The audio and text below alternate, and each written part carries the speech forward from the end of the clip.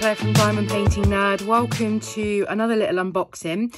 So these bits have sent to me, been sent to me, should I say, by the guys over at um, Outdoor Tide and um, I've done a couple of unboxings of some of their bits before and they asked if I wanted to pick some more bits out so I thought I would go topical. We are um, approaching or we are in spooky season so I picked up a couple of bits um, to share with you. So first of all is this um, off the canvas project.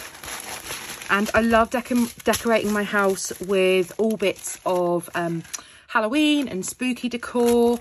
And this is such a fun way to be able to add something else to my Halloween decorations that's um, been handmade, handmade by me, I suppose. Um, and so um, so reasonably priced as well. So I picked up this little acrylic. It's not so little, it's quite large. This acrylic sign. So let's have a little, let's do a measurement first of all. I can't remember what the measurements were when it when I ordered it. It's 19 centimetres, which is about seven and a half inches, just over. So it's a fair size plaque. Now, it is also double-sided, so you do diamond paint both sides.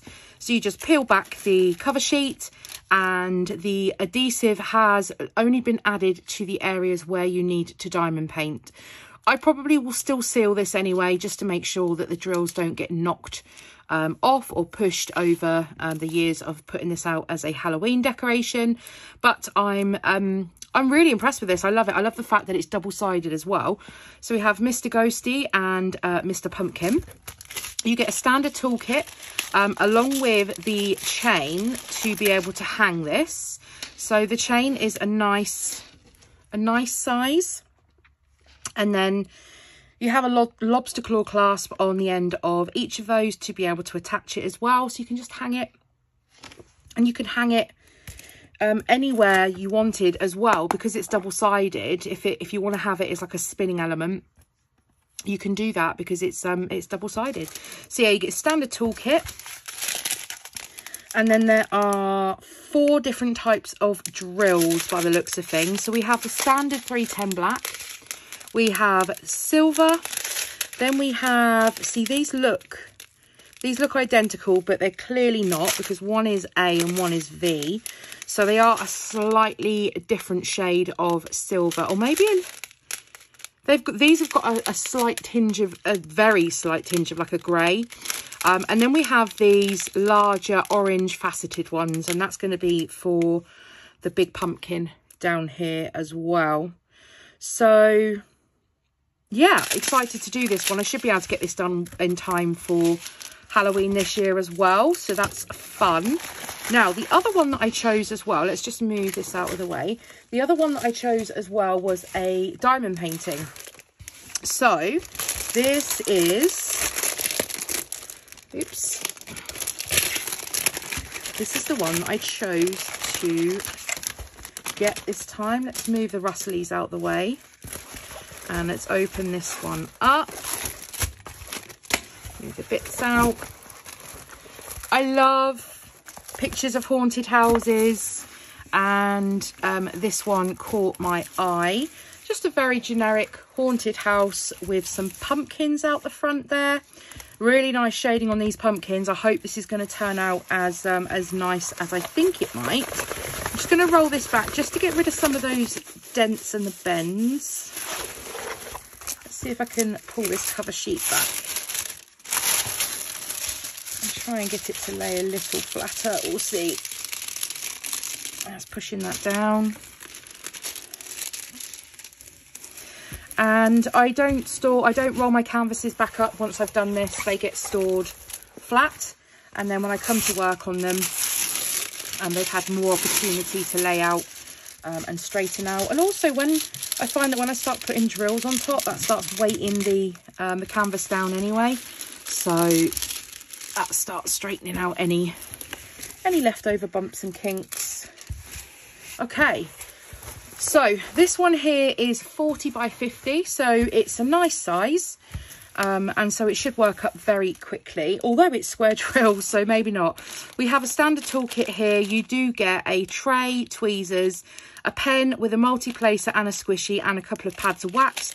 And I think you also get, yeah, you get a another multi-placer, a larger multi-placer in there as well. This is really handy to have. So if you are new to diamond painting, just starting out, this is all you would need to get you started. Um, and it's great that they include the multi-placers in this as well. Okay, so then we have the drills. Let's take a quick look at these drills. I'm just going to dump them out. now, I don't think there's any ABs in this one. So I think these are all standard. Yeah, they're all standard drills. We have a huge bag of 310. Um, so the background is going to be uh, majority black. That's absolutely fine. I know quite a few of them can be um, 939 or 823 but this is um, a lot of this all around the edges here is going to be black. No problem that's going to be multi-place central i think. Then we have so it's a total of 35 colors sorry i forgot to mention that. Um, yeah definitely no abs in this one so these are just all standard drills. Now they are they are acrylic drills however um, the ones that I've worked with so far from Outdoor Tide have just been so nice to work with. Now, I'll try and show you the quality of these. There are, I haven't found any trash, and I'm not exaggerating. I found no trash at all um, in the drills that I've worked with so far. Um, they, like in terms of little bits of plastic coming off, I've had like, I say no trash, let me take that back. I've had like the odd one where you get um like a you get the sorry you get the little um hangy off bit. But in terms of like little bits especially in the 310 little bits you get left over um i haven't really found that. And i can't even see any kind of little bits coming off of these either to be honest. They are so few and far between. So although they are acrylic actually I think these are very good um, quality acrylic drills. So I love the fact that they come in um, their own individual bags. Um, they are labelled with the um, the number for the, for the number from the canvas, the DMC code as well. And then 1037, I think these numbers on the end refer to the weight um, of the drills in the bag. So for instance, this one says 313 on the end. So I think that's 300 like 3.13 grams and then this would be 1.037 grams. Um, this really helps when you're kitting up if you've got different size storage boxes um, storage pots. Um, but even if you are using kind of the screw lid pots um, and you're trying to figure out once you know how much how many grams your pot will take you'll know straight away whether it will fit a whole bag of these or not. So yeah 35 colors in total and I might I don't know I don't know I might add add, this is 3865. Um, I might change that for ABs because I think, I would assume that those are going to be going, let's pull this down, those are going to be going in this moon. Let's see. Um, yeah, 35R. So all of this moon. So I might change that to ABs. Um, I think I've got 3865 in ABs. Um, and maybe some of the windows I might change to ABs. We'll see.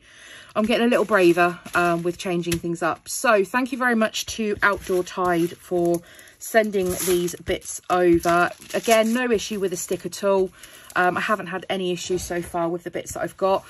Looking forward to doing this one. I'm, oh, I say hopeful whether I'm going to get this one done um, this Halloween. If not, it'll go in my stash for next Halloween. It's not a problem. It will get done um, at some stage.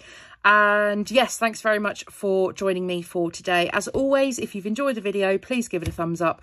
Hit that subscribe button if you're new. Don't forget to hit the bell so you're notified when I next upload. And drop me any comments in that comment section down below. And I'll see you all again in the next video. Bye, guys.